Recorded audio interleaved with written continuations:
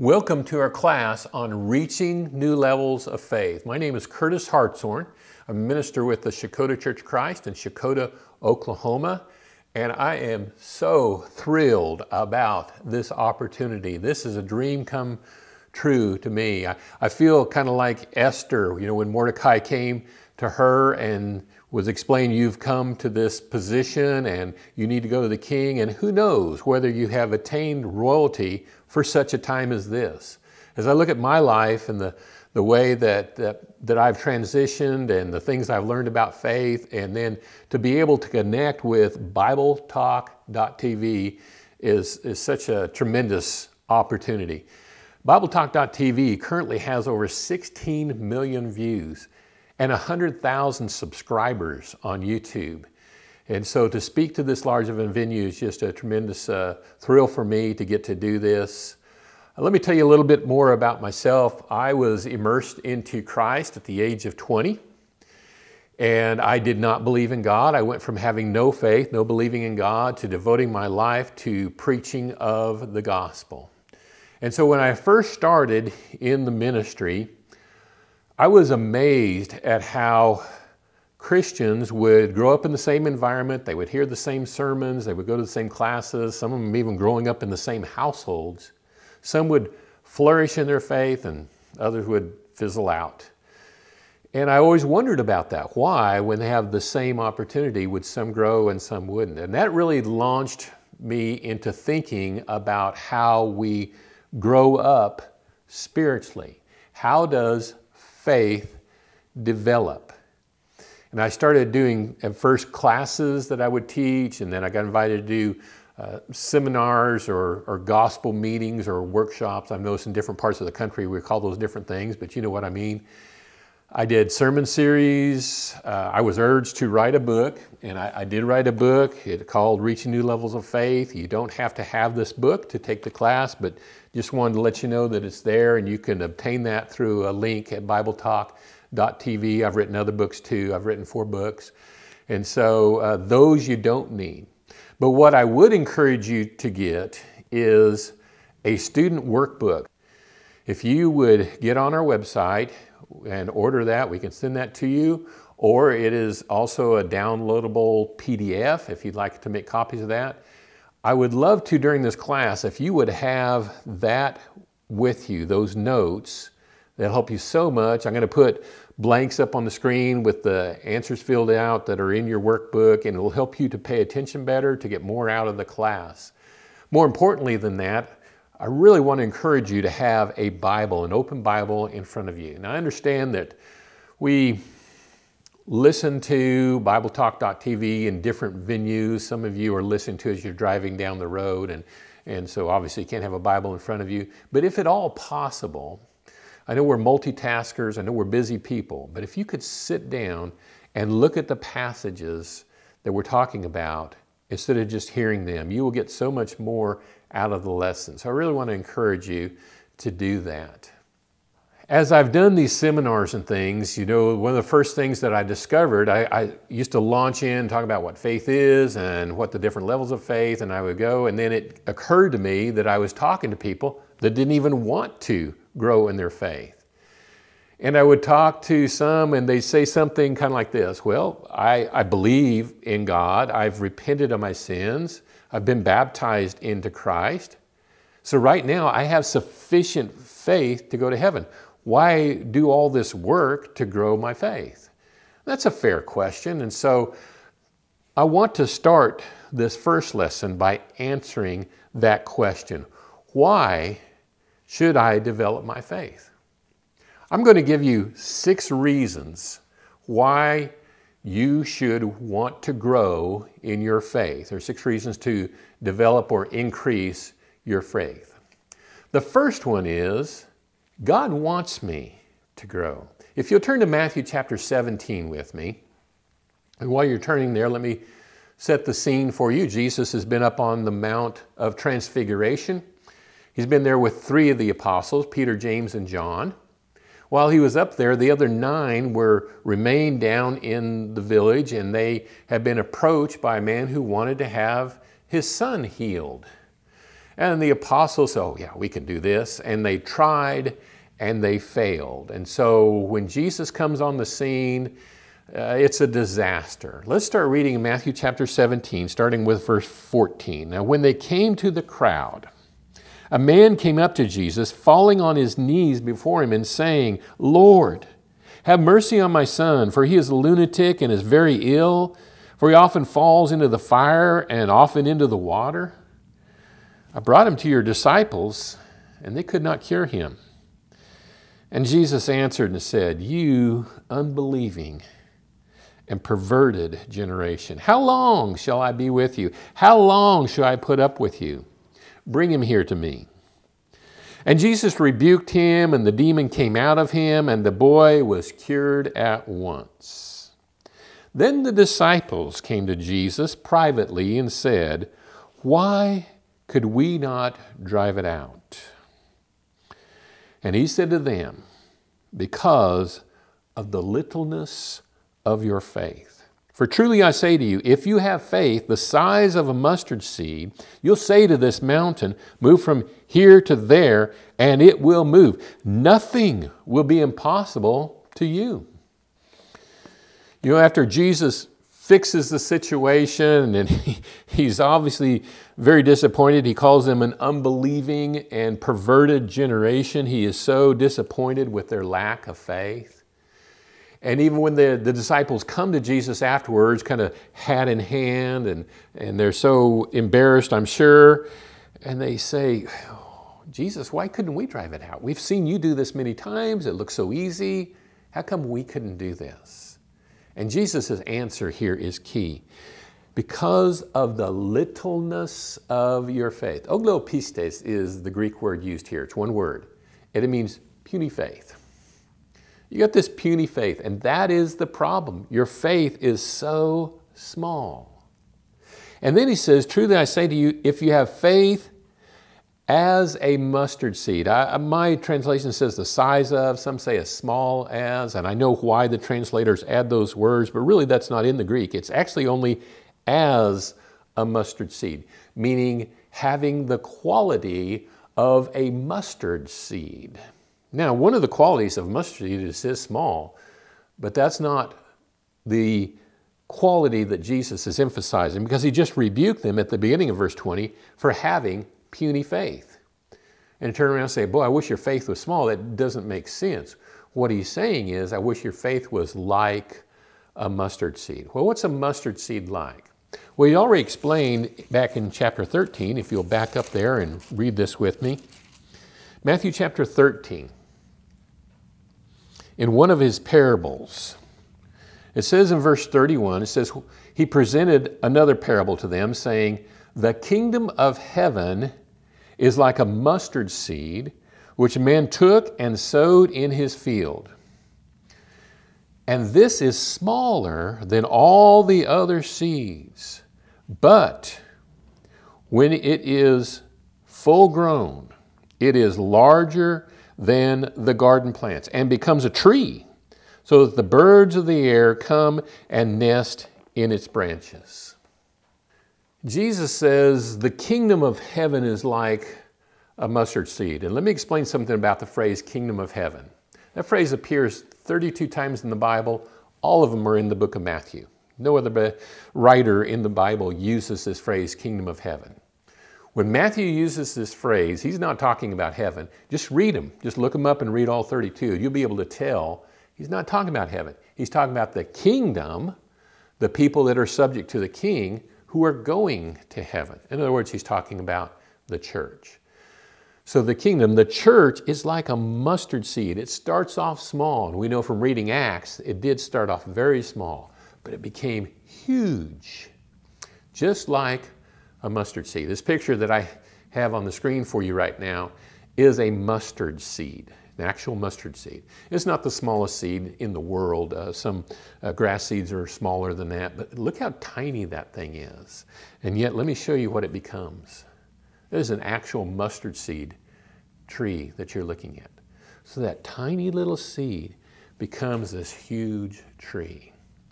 When Jesus says, your faith should be as a mustard seed, What he's saying is it's okay if it starts off small, but I want your faith to grow. I don't want it to stay small. God wants your faith to grow. This is the first of six reasons that I've given you why you should develop your faith, but I could stop here, couldn't I? I mean, if you love God and God wants your faith to grow, that's enough reason, I would think. God wants you, He doesn't want you to stay where you're at. He wants you to move forward in your faith. That's the first reason. I'll go ahead and give you the others. Uh, number two, we either move forward in our faith or we're moving backward. There's never an in between. There's never just, I'm, I'm holding my own. We're always moving forward or we're moving backward. In the book of Hebrews, if you'll turn with me there, please. The Hebrew writer is writing to Hebrews, Jews, who had become Christians, but they were looking back at the old Jewish ways. Oh, wasn't that kind of neat? And so as a result, they weren't really growing, they weren't moving forward in their faith. And the Hebrew writer is writing to try to convince them to grow in their faith. And look what he says in Hebrews chapter 5, verse 11. It says, concerning him, and the him here is Melchizedek, who he has been comparing to Christ and Christ's priesthood. He's talking about some rather technical thing, but he says, concerning him, we have much to say, but it's hard to explain since you have become dull of hearing. Uh, this word is the same word that's used in chapter 6, verse 12, where it's translated sluggish or lazy. You, you've become lazy in your hearing. You're not progressing the way that you should in hearing the gospel and growing in your faith. Verse 12, for though by this time you ought to be teachers, you have need again for someone to teach you the elementary principles of the oracles of God. And you have come to need milk and not solid food. For everyone who partakes only of milk is not accustomed to the word of righteousness, for he is an infant. But solid food is for the mature, who, because of practice, have their senses trained to discern good and evil. The Hebrew writer says, you know, you're at a point in your Christianity where you ought to be a teachers. But instead, instead of being on the solid food, you're actually on the milk. You're still in an infancy state. In other words, this isn't good. If you're not progressing in your faith, that's not good. If you're actually, if you're not moving forward, you're actually moving backward. And you can argue and say, oh no, I'm just holding my own. But if, if you're not growing in God's eyes, that's, that's negative progress.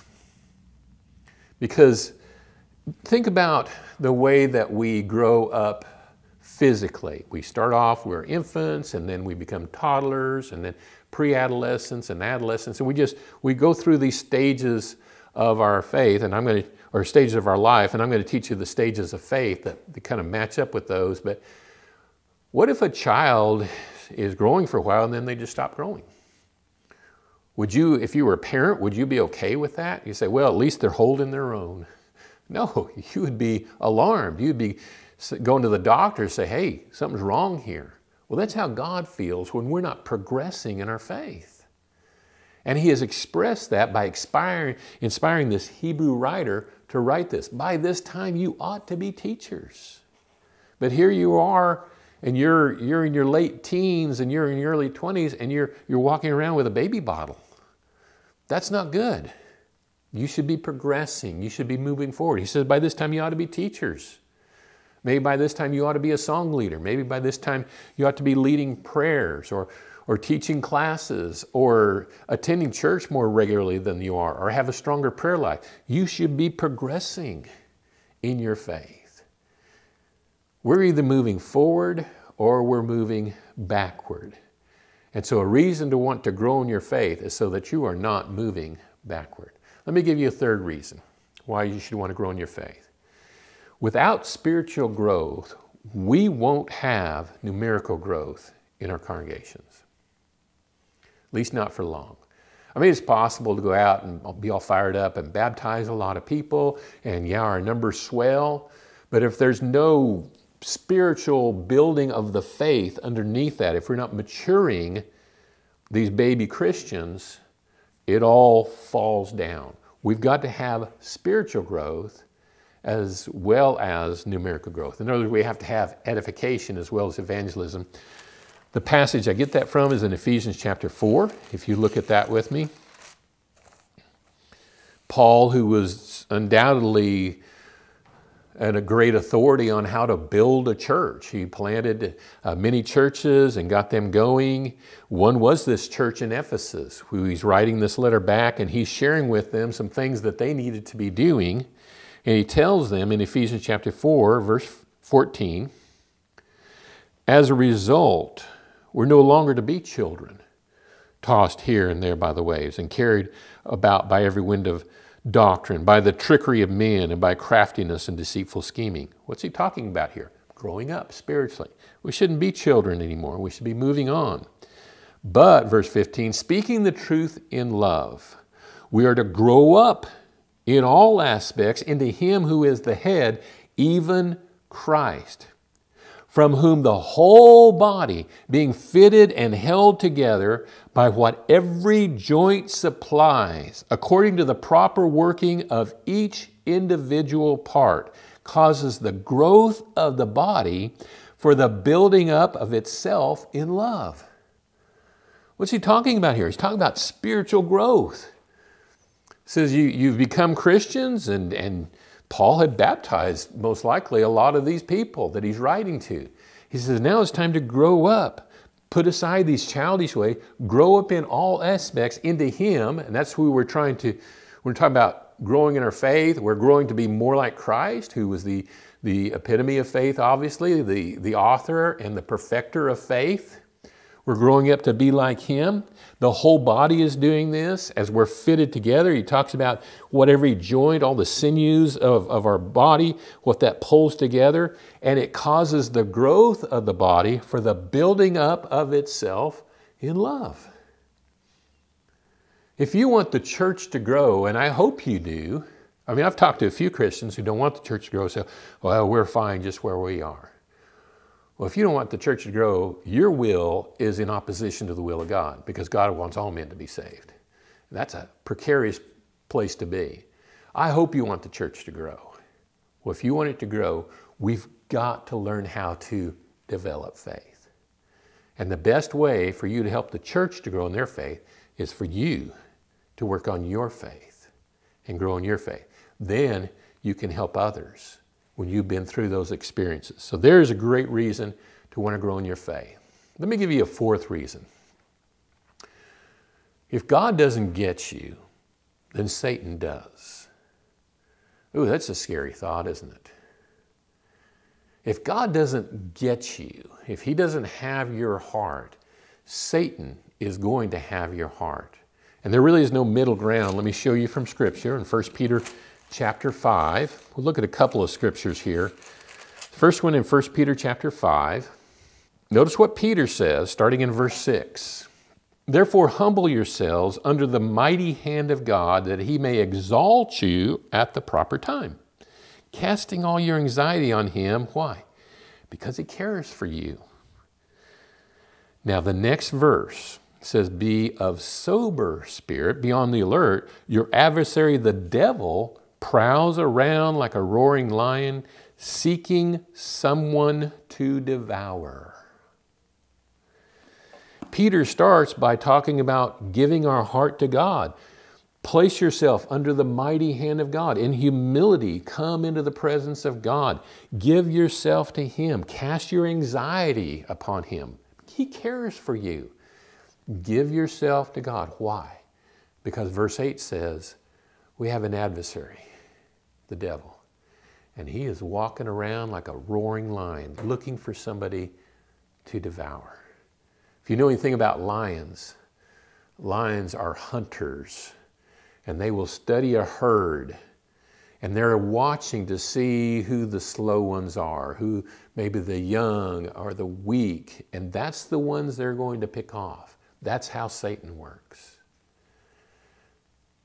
You need to want to work on developing your faith because if you don't, you're, in Satan's hands.